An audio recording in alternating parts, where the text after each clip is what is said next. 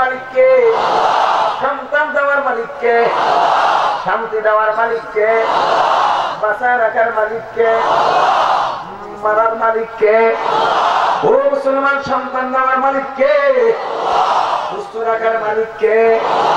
অসুস্থ করার মালিককে, শান্তি দেওয়ার মালিককে, সুখে রাখার মালিককে, দুঃখ দেওয়ার মালিককে, ও মুসলমান ধনী বানানোর মালিককে gory